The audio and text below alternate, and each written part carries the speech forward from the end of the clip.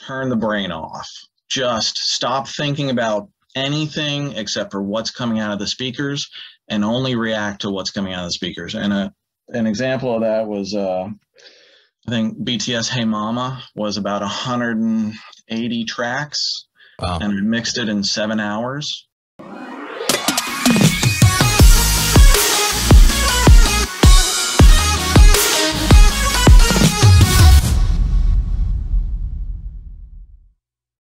And welcome to Talkback On episode 11, guys, where we reveal what goes on from the other side of the studio glass as we share our experience and stories behind your favorite records and creatives in K pop.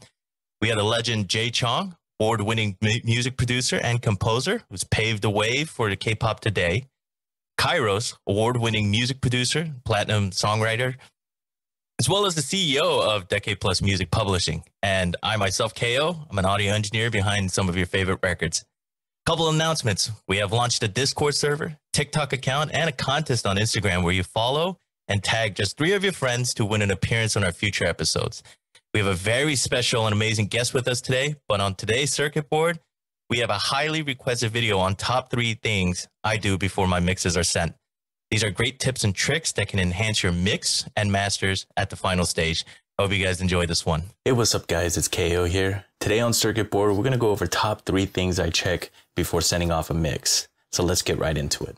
So the first thing I want to talk about is checking your session. This is a very important detail that you don't want to miss out on. In the case you leave something muted that was supposed to be unmuted, uh, that could lose an opportunity for you or in the worst case, piss off some people. Um, so make sure you go through every single track and make sure that it's supposed to be playing back exactly the way that it's played um, and performed. One quick tip is to commit all your MIDI into audio. And the primary reason for that is because MIDI can change uh, just adding a plugin that demands a lot more processing power. Plus, on the flip side, it actually frees up some processing power and allows you to be able to mix without having to deal with possible latency in the performance. So here in Pro Tools, there's multiple ways that you can commit MIDI into audio. Uh, the easiest way is just right click and clicking on commit. Um, make sure that all the plugins that you have on there are the ones that you want to commit with. Um, or you can just bust it out to an audio track and just make sure that it records uh, with the uh, right selected input. Afterwards, you can just simply inactivate it and it'll be out of your life. It is committed to audio. If you have commitment issues, you can always go back to it and be able to change the performance and re-stem it again. Another thing I'll do is check my mix on multiple playback systems.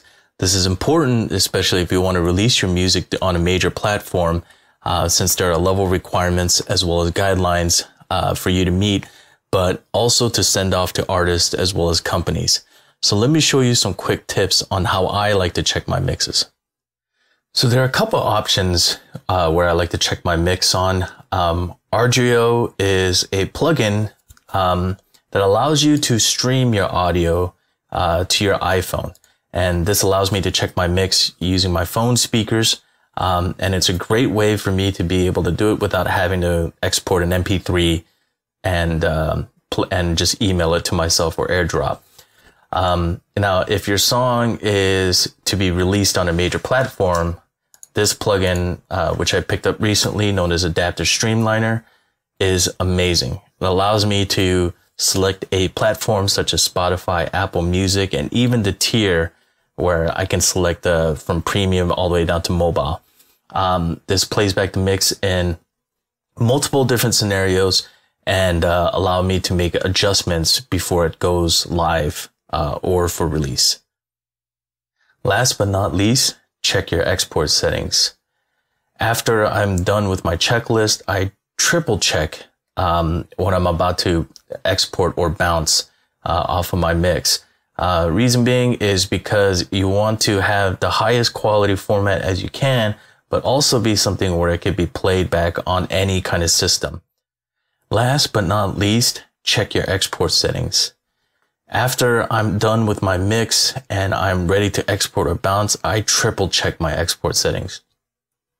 The primary reason is to make sure that I'm able to get the highest quality format, but something that is easily streamable or downloadable to any uh, playback system. Your file needs to be accessible by whoever you're sending it to, and they need to be able to play it back on their system without any glitches or errors.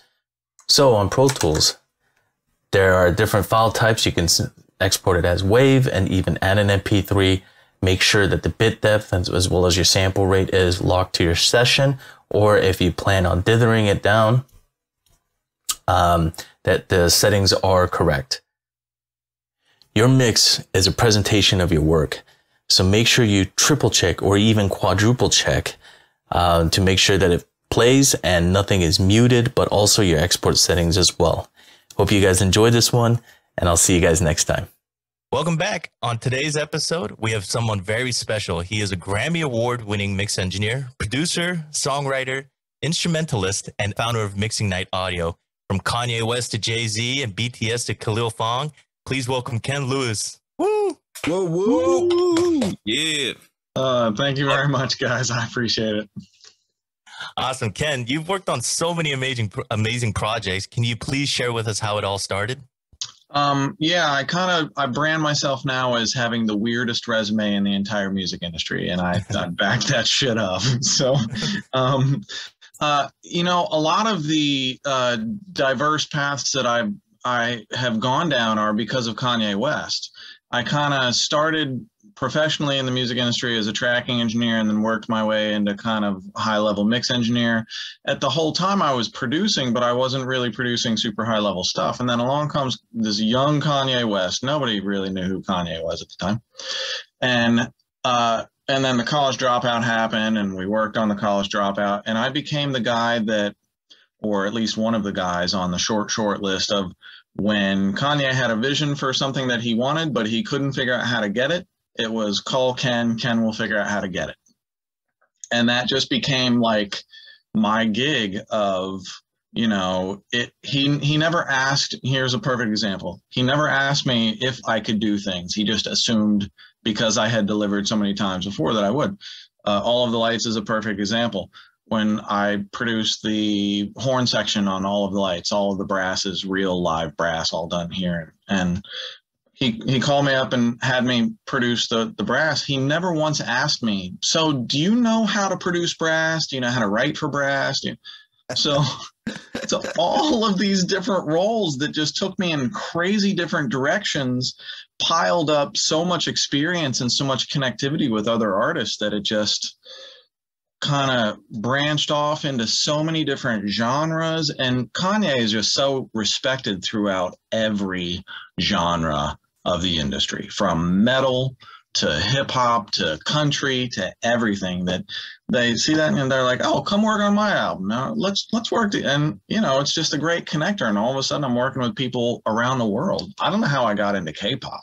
Well, Stephen Lee got me into K-pop, but oh, okay. Um, but uh, I don't know how on earth Stephen Lee plucked me out of obscurity but um, he reached out to me one day and he was like, I want you to mix the Rain album. And he expected me not to know who Rain was because this is like 2008 when I started mixing K-pop, and wow. uh, and I was in Dublin at the time. And Stephen Lee reaches out via email and he's like, "Hey, can you come mix uh, the new Rain album?" And I'm like, "Sure, I'm going to be home in four days. I'm in Dublin right now." And he's like, "Oh, I'm so sorry. We need to mix tomorrow." So I said, I will be home tomorrow. And I was on the first flight out of Dublin in the morning and mixed the whole Rainism album. And that was my introduction to K pop. Wow. And wow. it's been grinding ever since. Wow. That's awesome. Um, I know Bob Horn was uh, on our show, and he's even mentioned uh, that whenever labels need help with recreating a certain sample, or uh, maybe they need some help with some of the arrangements, uh, like strings, um, they'll they'll call you up. Um, yeah, that well, that's how that's how I started with Kanye was sample recreation, and uh, and that led to crazy, crazy requests, and then that led to writing and production opportunities. Like all of the lights is not a sample recreation; that's just horns. Uh, and I sang on that too. Then I ended up singing on a bunch of Kanye stuff. I, I have the weirdest resume. I I don't, you know, it it's. Uh, we just worked on the Alicia Keys record. Um, my last credit on the last Eminem album was orchestra. Um, I just produced a live orchestra for a Christmas song, which was amazing. So I just like doing shit. I'm really curious and I just like kind of new challenges and they just lead to great places. I think that really helps to have all those skill sets, right? Because I remember, you know, I, when I talked to Dave, Dave mentioned how in this business you got to have that extra, you know, um, edge, or you just need that, you know, extra skill set to maybe beat out some of the other guys. And having all those, not just even skill set, I think it just sounds like to me you're just really, you know, having fun and being passionate about a lot of different things that that open, you know, more doors. Yeah, it's I'm, I've been really lucky that way, and I and I think you know the the curiosity opens up a lot of doors, and I think people genu- genuinely sense uh, at least high level creatives genuinely sense if you're into what you're doing or not. Right. And you know, and I I still I've been making major label records 30 years and I still love not just major label records. I love working with indies. I love just writing songs just to do it. Um, you know, everything about music is just the fact that I get paid for it is is the cheat code. I mean, yeah, I mean, what's awesome is, uh, you know, like uh, most people, I, I realize, you know, they're good at one thing usually, and when the trend changes and things like that, uh, they just sort of become obsolete, you know. Right. But like right. you, are like your career seems like like a Swiss Army knife. Like you, you could just kind of figure out things like any anything thrown at you, which is which is awesome, and your whole Yeah. energy is like awesome. I, I think it uh you know you you got to try and pay attention to what's current you don't have to pay attention to what's current you have to pay attention to what's current that connects with you Sure. um Yeah. you know because you can't chase everything but you have to know what's going on because Mhm. as like as a mix engineer i kind of have to know what trends are but as a producer i kind of don't give a shit about trends like i just want to make a great song and you know if we got to tailor the production for this artist or that artist or whatever we can tailor the Yeah. production but at that you know that's got to start with a great song for me but staying relevant and reinventing yourself constantly if you're going to do this 30 years professionally is is a ninja trick for sure. It is you know um and i think part of it is survival um and part of it is just uh you know i like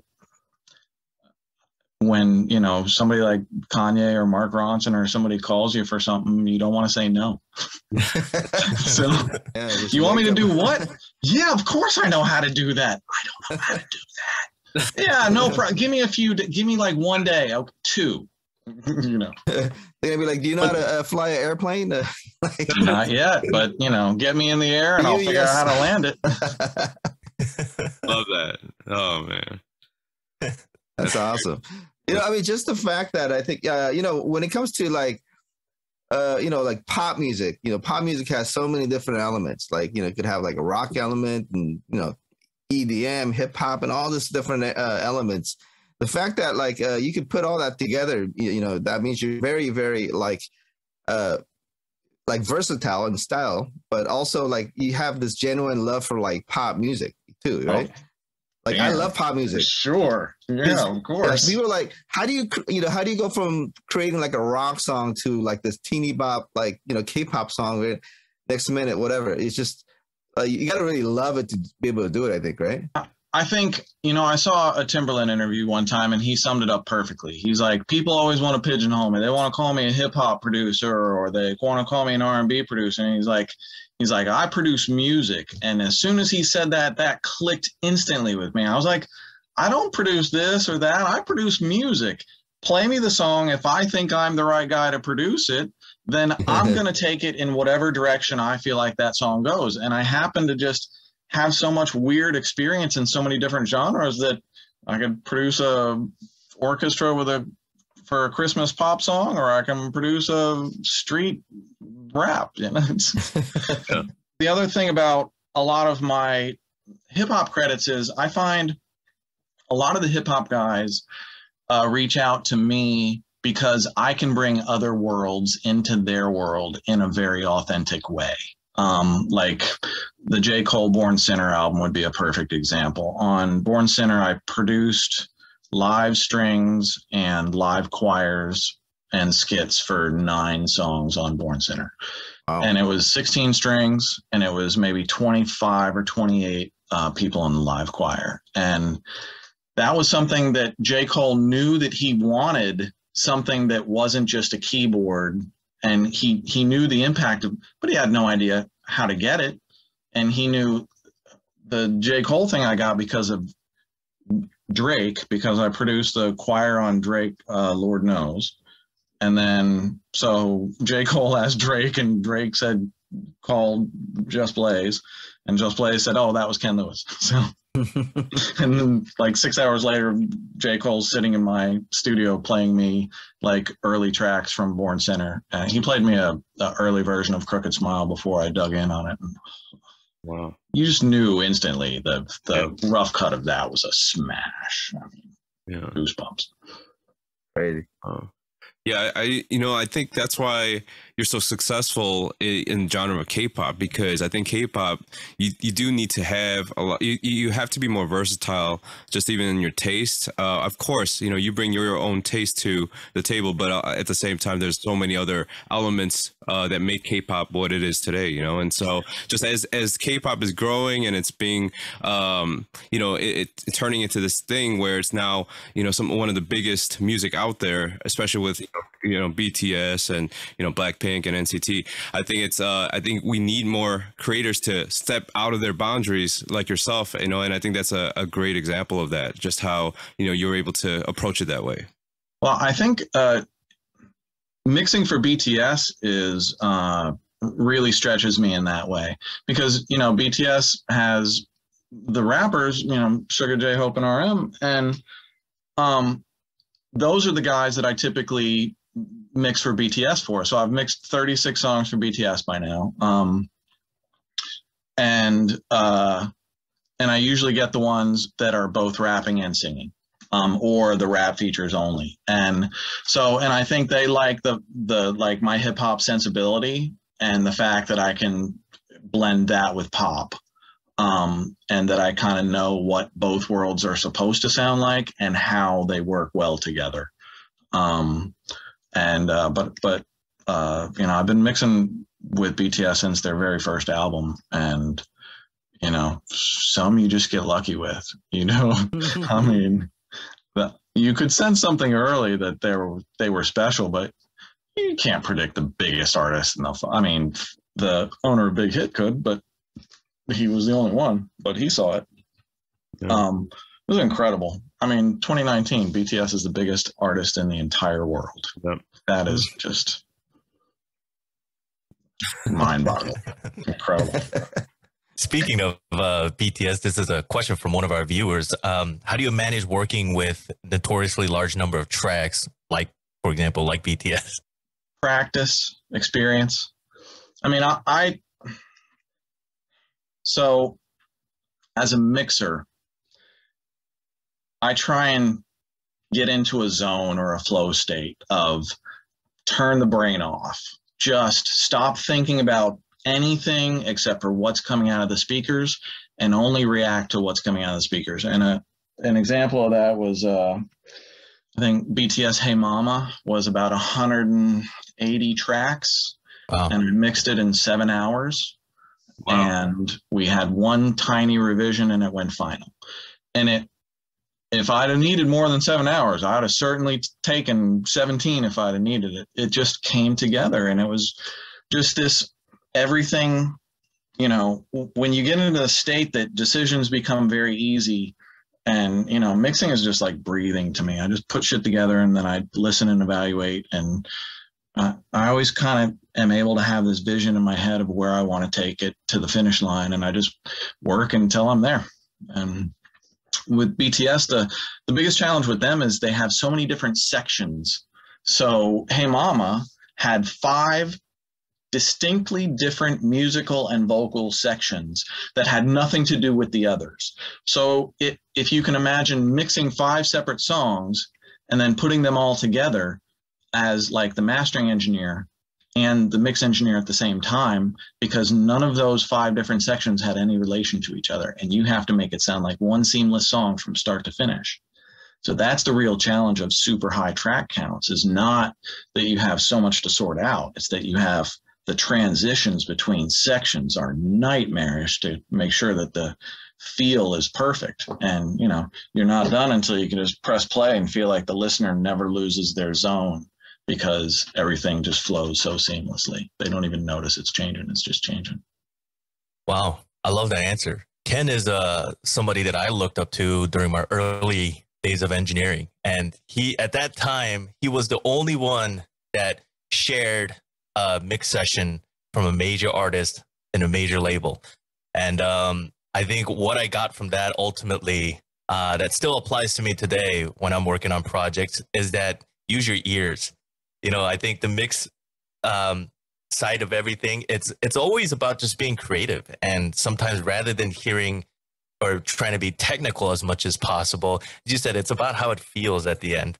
Um, than just using the latest, greatest gear there is out there. It's it's using your ears and making the best judgment possible and make the song feel good. So, you know, that's it's an amazing answer, man. yeah, and vibe is everything. Like anybody can learn how to use the plugins. Anybody can learn how to use the gear. But people like me are hired because of our taste. And hmm. either you like what we do or you don't like what we do, but you're going to have an opinion about it. And a lot of people, you know, the people that like what we do hire us and and you know, it's it, it's uh, the decisions of what you feature and what you don't feature, not how crystal clear you make the vocal sound. It's um, here's a perfect example. I mixed Danity Kane Damaged. It was a huge hit in America, and when we um, when I started the mix, Puffy said to me, he said, "There's five girls in the group. Only one girl singing lead vocal at a time. But anytime that the other four are singing backgrounds, treat them like lead vocals, even when the lead vocalist is singing. And I was just like, whoa. That changed my whole perspective on how I approach that mix. And if you go listen to Damaged, you will hear those background vocals are out wide and up loud, and the energy that they impart to that mix is really incredible. And that was that that's just a feel thing. And that was something that puffy knew instinctively. He's like i know it's going to feel right like this. Do this. And i did. And i was like oh fuck. Wow. And now i that was one of those things where you learn from the greats and then you try and you know remember and catalog what you've learned and do it again on the next things and you know i'm lucky to have worked with a bunch of those guys that's cool um, we would love to hear your thoughts on this subject what do you think is the biggest difference in working on projects for the West and uh, versus the East? I mean, in you guys tend to be more organized. A lot more organized. Um, business is typically smoother. You tend to be more organized. American labels are still a bit more like the wild, wild west. Um, and uh, but but work work wise i mean i don't i guess i guess the music is slightly different but i don't really see it that way because whenever i mix something i just kind of take it in for what it is and treat it the way i think it deserves to be treated uh, let me let me ask you one question i mean have you had like the label person actually maybe like after you mix a song, they come back to you and say, "Hey, uh, this part we can't really hear the words," or you know what I mean? Oh, in K-pop land? Yeah. Or has that ever happened to you? Um, no. I, you know, you'll get you'll get requests to turn words up and down, but I get that in American pop too. You know, oh, okay. some people are just really finicky about certain words popping in and out, but for the most part, um, I don't get those types of requests. And I, I usually don't understand the vocals that I'm mixing, but I mix a lot of foreign Euro- European language and Spanish and and Arabic and and Korean and Japanese and Chinese and it, it's all music to me. I, you know, a voice to me is a voice is a voice, and I know what a voice is supposed to sound like coming out of speakers. And I, um, I don't know. I seem to not have a problem with it. fortunately. um, but yeah, like revisions are a part of the mixing process or the part of the creative process period. And you want to you want to have the possibility of revisions because you don't want I don't want to have my work turned in and have the person stuck with whatever I give them it's it's a collaborative effort. Making great records is a collaborative effort. I'm not the only one mixing even though i'm mixing. The producer is mixing the artist is mixing.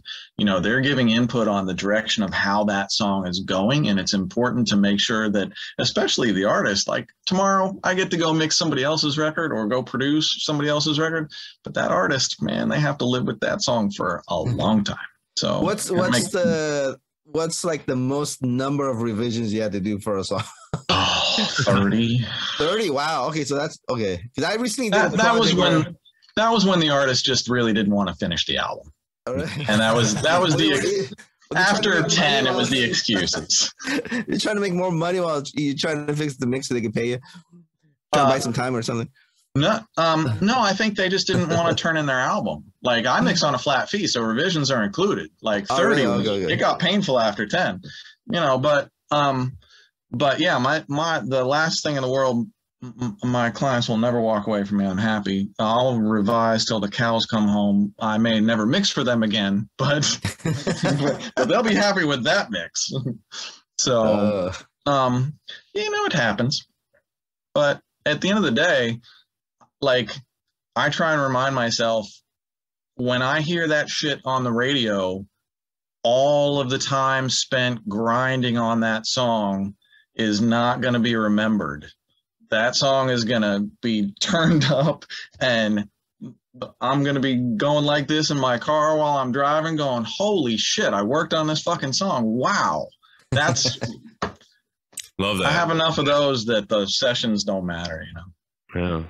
Yeah. At Absolutely. the end of the day, you just remember the good, you know, and and and the best times that you had during that time. And you know, we talk a lot about you know building relationships here too, where it's the journey that is important more than it is being like, you know, oh, you're an artist. I have to mix like this or like that. You know, developing that sound, you know, is I think a very crucial part in uh, when you're working with artists or any kind of projects. And it's a very good point that you brought up is that you know, when a song is released, you forget all those, you know, revisions or hard times that you had to endure. It's just, it's just fun. And you get to listen to the end result, you know, and see it climb on the charts too. That's always exciting. I mean, isn't that what we all strive for, you know? I mean, you know, artists want to share their music with the world. We want to share our work with the world too. And, and you know what a buzz when i can turn on the radio and hear something I, I worked on and and know that you know people around the world are reacting to it that's crazy. We have so much power in music. Music is just so ridiculously powerful. We don't get paid enough but cool. Okay. um, so we're gonna get a little technical here. Now um, you have a beast like setup centered around the ssl console. Do you mind sharing your workflow a little bit uh, yeah, I'm, so I'm sitting in front of an SSL AWS 900 Plus. It's a 24 channel analog console with uh, eight uh, eight channel um, aux returns, master section, uh, two channel compressors. It's got an EQ on every channel, 24 faders. It's also a controller, so I can control Pro Tools from the SSL. So it's super convenient. Constantly while I'm mixing, I can hit a button and be back and forth between analog land and digital land at the touch of a button. And it's so much faster than mixing on a mouse. Um, you know, mixing on a console, you can sit back and I can touch five things in, in five seconds and make five very significant changes on my mix by the time it takes me to reach for a mouse and scroll around to where I need to find to click. And the whole time that you're moving your mouse around, your brain is occupying other functions than listening to music. And so for me, being able to sit in front of a console is like, you know, everybody has their thing, but this is how I learned and this is how I really connect. Um, and uh, I'm starting to mix in Atmos now. So anybody who needs Atmos mixing, get at me. Uh, I'm having a blast with it. I love the format. Um, and uh, uh, I, I, feel like Atmos is like the way we always should have been listening to music all along. in the middle of it, surrounded by it. It's just so nice. Um, so yeah. Um, but workflow wise, what else do you want to know about workflow? Um, Um, do you just stem everything out from your sessions to your SSL console, or um, Uh, I try and so everything goes out of Pro Tools into the SSL. I try and prioritize the most important things to get their own channels, and then I group things that I know I can treat uh, within Pro Tools, and I'll s- uh, spit them out of stereo pairs of uh, faders. Um, so it's a combination of kind of grouping some things and uh, giving as much control over like lead vocal, kick, snare, bass, um, maybe piano or guitars or whatever is like the most crucial elements that I might want to get some hands on and get some SSL EQs or, or compression on. Uh, Mixbus, I actually don't use the uh, SSL channel compressor. I use the Manley Vari-Mu. Um, and I nice? I use it in a way that I have no idea why it works, but it is the fucking glue. It's that thing is beast mode. Um, and uh, uh, but yeah, I do a, a healthy amount of process within Pro Tools. Um, like uh, you know, a lot of plugins in Pro Tools, but then everything hits the console and then it spits back out of the console back into Pro Tools. And that is the only thing that feeds the mix bus is the output of the console feeds the pro tools mix bus. And then the only thing that i monitor is the pro tools mix bus. So i'm always monitoring all of my conversion my whole audio chain. I'm hearing everything that's happening at the very very end all the time and i'm just working towards a finish line the whole time you know i'm trying to keep a vision in my head of where i'm going and i just go there It's cool. Yeah, I think workflow. I love what you just said about how this is your thing. You know, I think that's what defines us and allows us to really kind of be a lot more creative. You know, we want to take the thinking aspect out and just do. Um, and that was 100%. something I remember listening to the uh, the or watching the Down on Me uh, mix uh, um, session. I was thinking, okay, I might as well need to get a console but because you were just pulling faders up on the on the uh, at the beginning, I was like, that already sounds really good. Um, but then you know, workflow wise, I think it's definitely think uh, something that I like to highlight because it's it's uh, you know, if you want speed or you want to be able to get better at things, like Well- defining your own workflow is important. Uh, you're exactly correct. And, you know, there's this stupid debate between, you know, analog and digital, which is better. Right. Neither. They're both great. What separates them is your ability to work within that medium.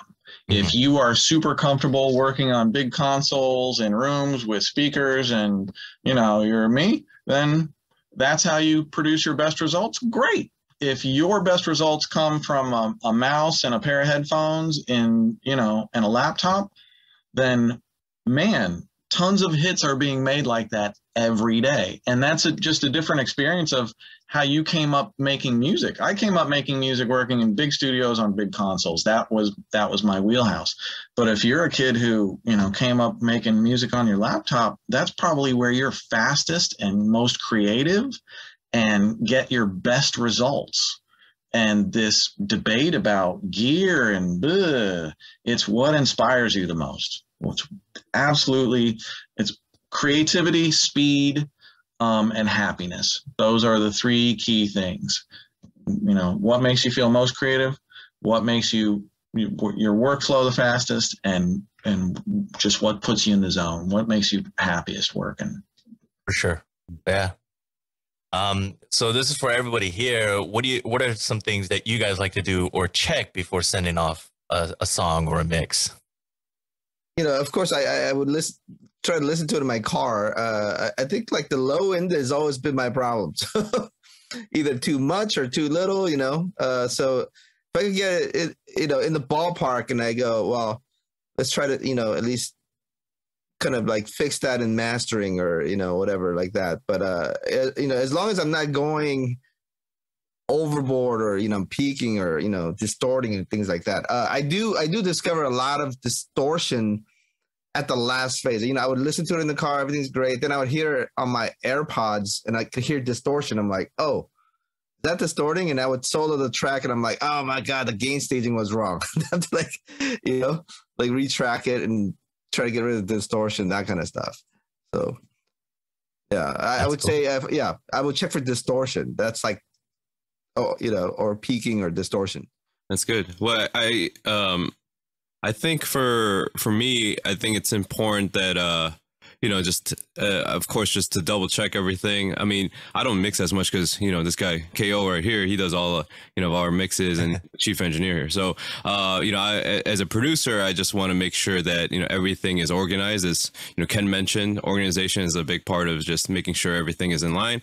So I, I spend a lot of time just double checking and um, yeah, and, and again, just making sure that everything is uh, you know, gain stage is a, is a huge part of that. You know, I don't want to dump everything on the uh, on the mixer because we all know that you know just as mix engineers or as just engineers in general, we get all the problems expected to be fixed. You know, like oh, there's a you know it's it's it's in the red make it green you know it's like how do you do, you know, how do you do that you know like so uh, we you know we get all sorts of uh, problems handed our way uh, but me more as a producer now like I I definitely want to be mindful of that you know uh, just thinking from the engineer standpoint and just prepare uh, the session for the mix session uh, before it's out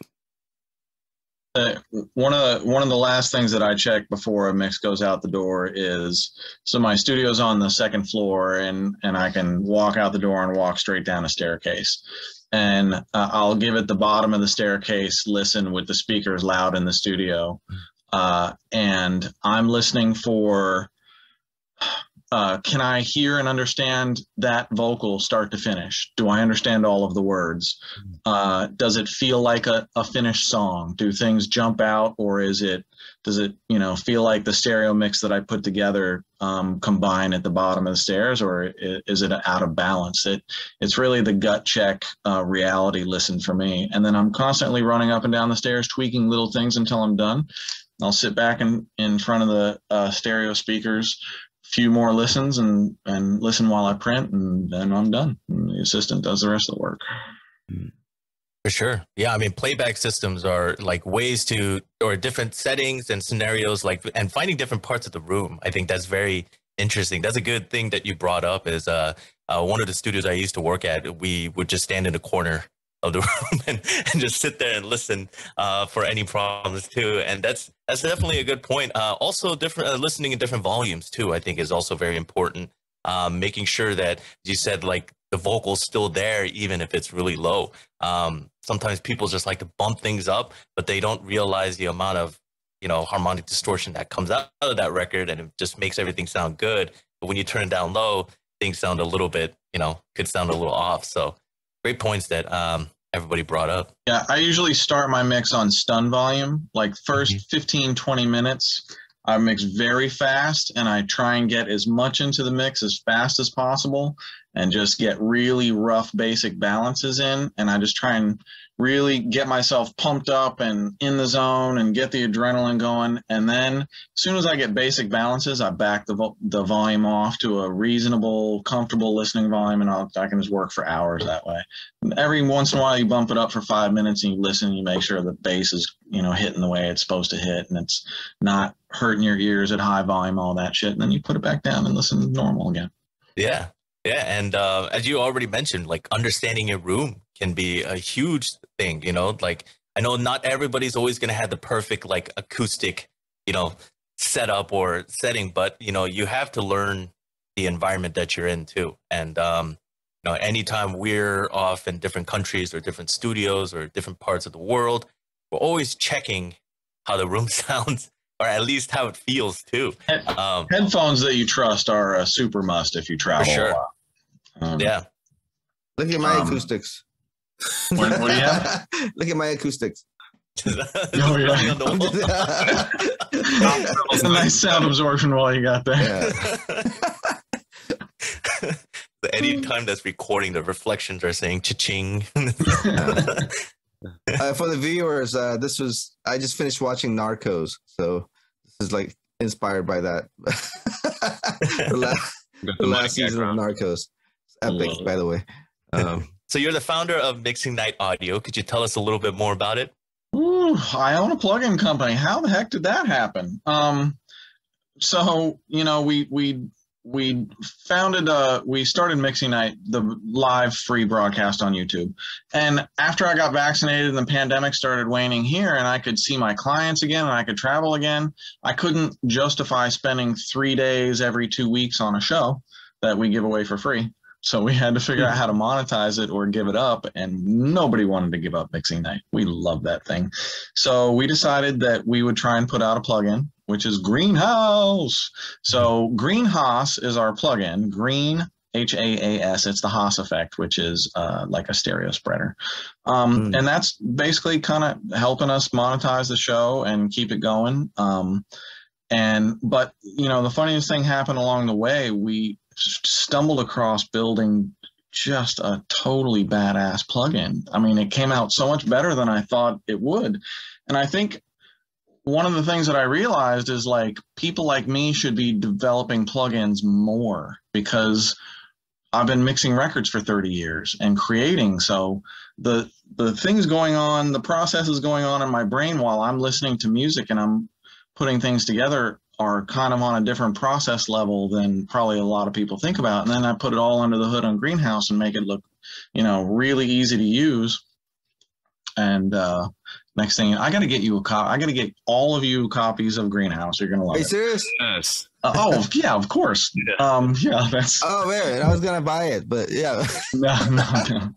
I mean, I saw, the, I saw the demonstration on the video. It looked. I mean, the there's like saturation and it's, yeah, it's a saturator spreader with yeah. modulation and filters, but it's really just a vibe box. Like feed it vanilla and the greenhouse it. You know, if something's too sterile, just throw in the greenhouse. And I love how like the low cut is like grass. Yeah. we like the wet is like the the the water uh sprinkler. The, let me. I have it behind me. Let me see if I can share my screen and just show you guys just for one minute, so the viewers can see what we're actually talking about. Is it? Can you guys see that? Awesome. Yeah. Oh wow. So, so yeah. I'll, let me let me play you two little things. Uh, this thing I just realized I'm learning new things about this all the time. Um, so it's a saturator spreader. Left side is saturation, right side is spreading and modulation. Here's some automated GreenHAAS uh, that I took uh, just two loops and, and automated them. There you go. Watch the automation.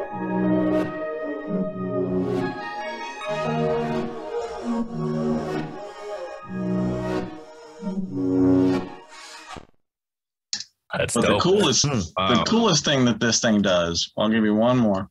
So I'm going to play you a, a, two bar mono loop. Everything is dead center in the uh, mono, and I think I'm sending this to you in stereo. Um, when it hits here, the only change is from this to here is GreenHAAS, and I have everything set to the red infrared uh, setting on the the saturator. This is all GreenHAAS set to the ultraviolet, which is this really dark, warm, beautiful uh, reverb. And then this is Hulk Smash Gamma Ray. Uh, so it starts mono and it, it's three different shades of GreenHAAS.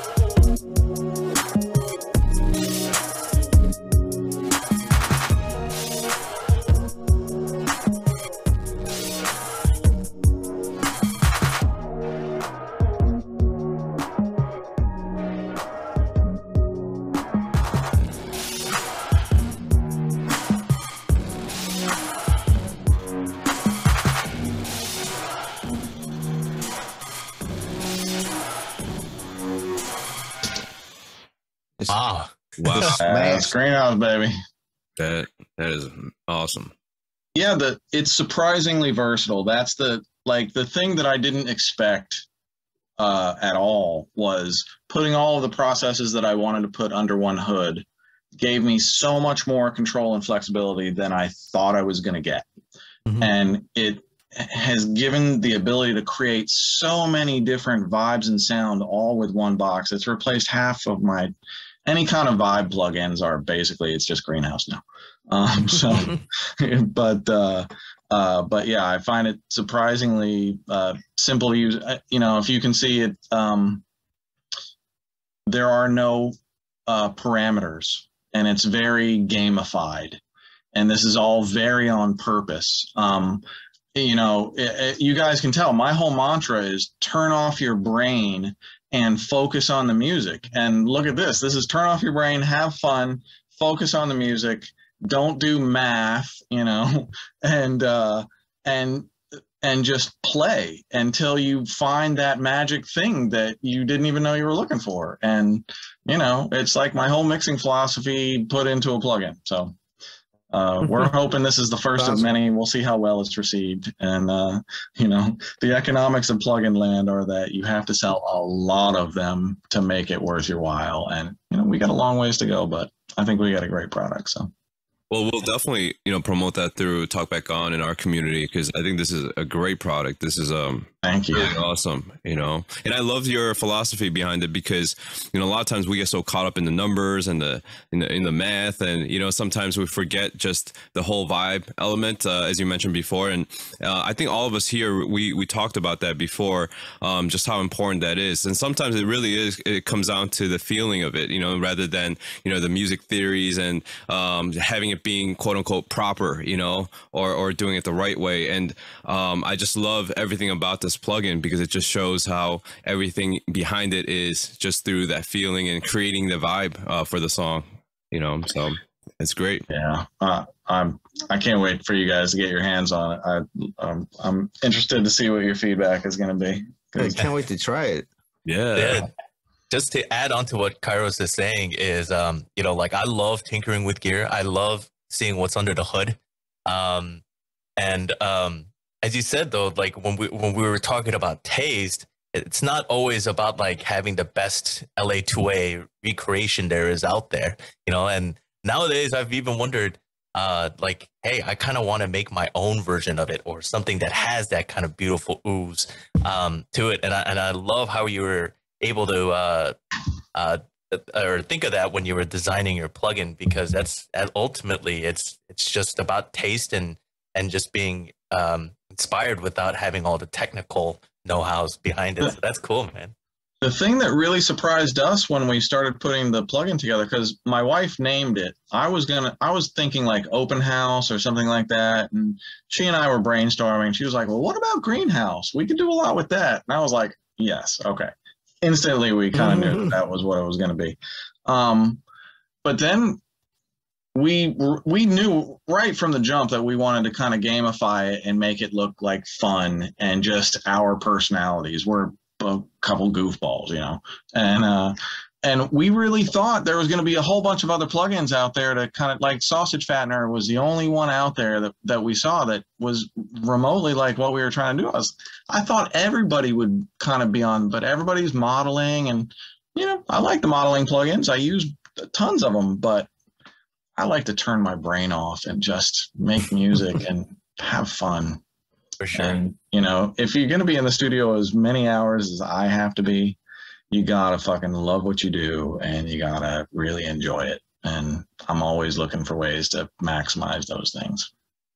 Yeah, that's a Absolutely. great way to put it. that's cool. um, do you have any advice for uh, aspiring engineers, writers, and musicians out there? Um, make sure to back up what you think you want with actual work. Uh, everybody says they want this career, and almost nobody knows what it takes to get it. Um, I think the people on on this call do.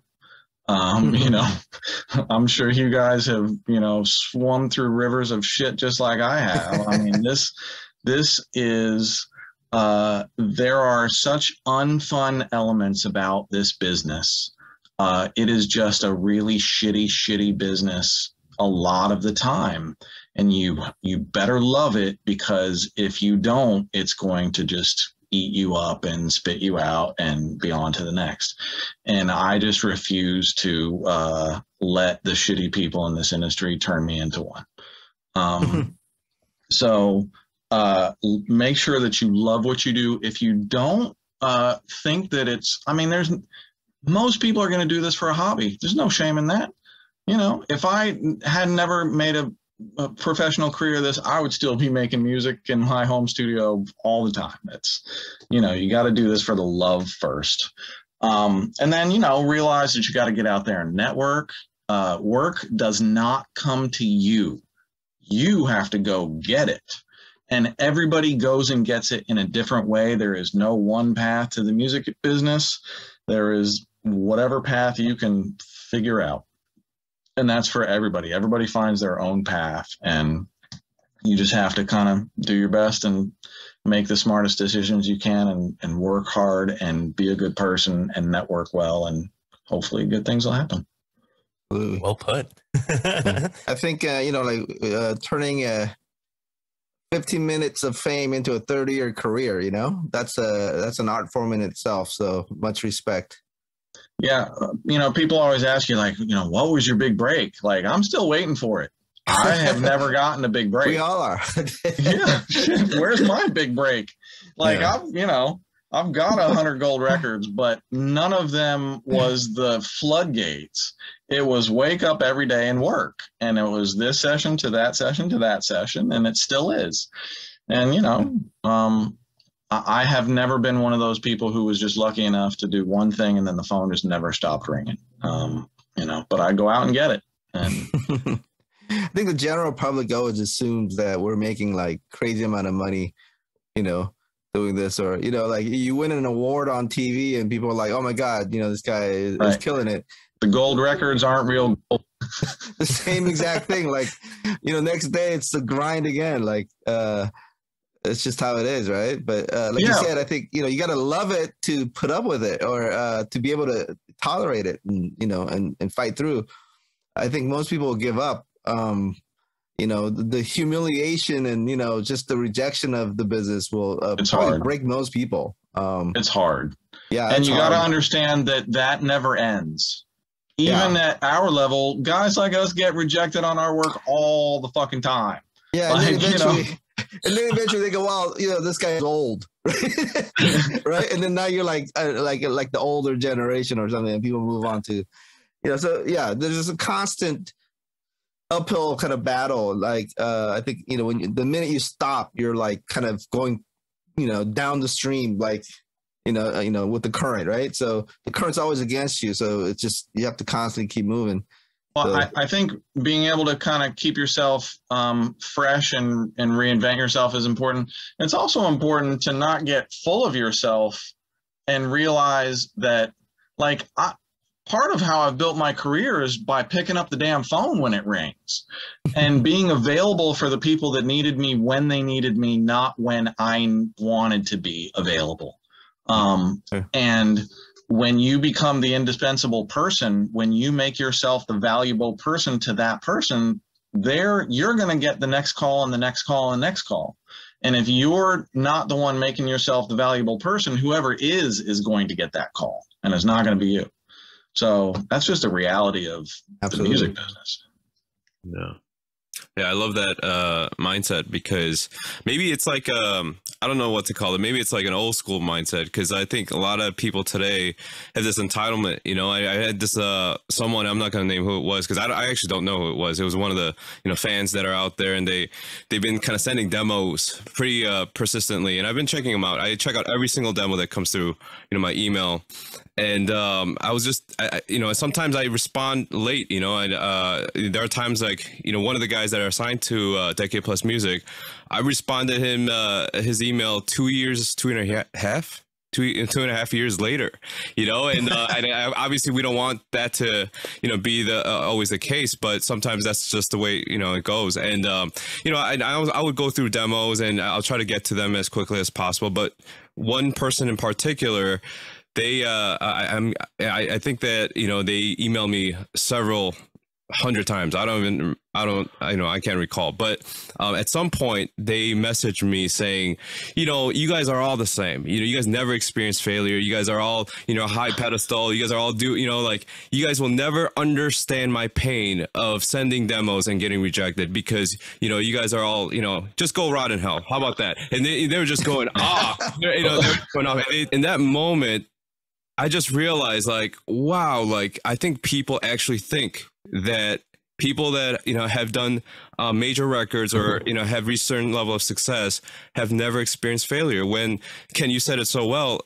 Majority of our days we go through failures after failure and and i think it really takes a, a certain character a certain type of person to continue wake up every day excited about what they're doing and continue on to keep reaching you know and, and reaching for your goals and and wanting to do better and, and get better um, so I love that. I, I, think what you just said. I wish I can just take that and just send that over to them. you know, uh, of course, many times we don't respond. You know, and we, we can't. But um, I mean, I love that failure is another word for experience.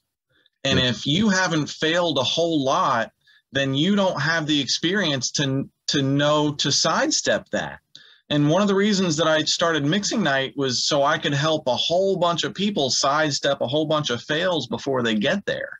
Right. And uh, you know, 30 years of a lot of failing gives you so much experience that your work just gets really, really good and you fail a mm-hmm. whole lot less. And you're consistently, you know, your consistency level goes up and up.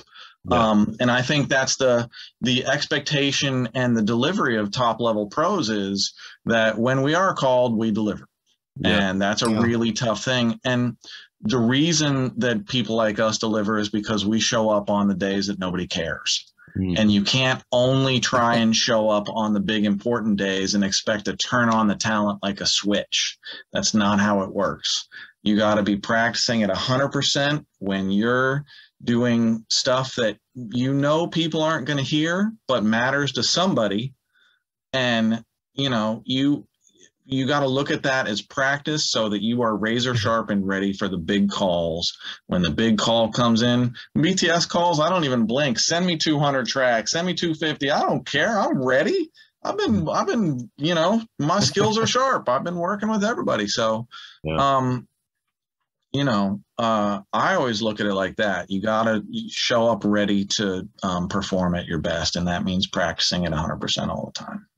Yeah, I love that. I think you know you and you know Dave and Bob Horn. You, you know you guys are you know some of the few people that are still out there that I that can deliver that way. You know, and I know there are people that are coming up right now in the industry where they get you know maybe five, ten recalls, and they're just like you know what? I can't do it. You know and they complain. They say this is too much. Like how you know i got to charge you extra. And and then it, it, ruins a relationship and they don't think you know long term and you know uh, investing in the relationship and all that. So it's it's such a strong message. I think it's such an important thing that you know our audience hears that um, because i think you know what people see and what they expect and especially with the you know entitlement that i mentioned before it's it's very hard to succeed and stand out because everybody else wants to be selfish. They all want their you know grammys. They all want their number one records. But it takes a lot of hard work like you said and a lot of dedication. Yeah, yeah it it definitely does. But man if i mean if you can get to the point where you can kind of I don't even fully call my own shots, but you know, I call enough of my own life. I, I pretty much map out the way I want to live and what I want to do, and and uh, and I have, I think, enough job security that I'm gonna be good. And you know, you you give up.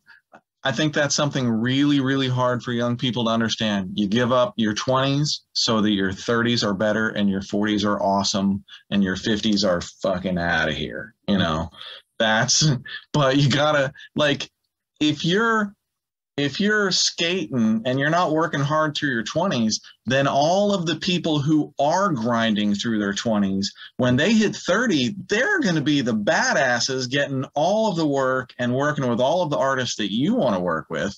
Yeah. just when you're like oh it's i'm 30 now. It's time to get serious about my music career. Are you fucking kidding me right now? No you're done yeah. And you know, so the you know anybody out there listening who thinks you should skate through your 20s, wake up right now. Oh yeah, 20s, man.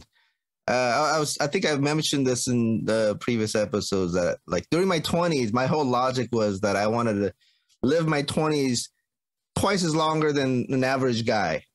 So I just never slept. Uh, I, I, know, I know, like either. some people, you know, have this whole thing. Uh, was it sleep is a cousin of death? Uh, this kind of stuff. But uh yeah, in my 20s, I didn't sleep. I was everywhere. Like, I'm, ta- I'm, not even talking about my neighborhood. I was in all different countries.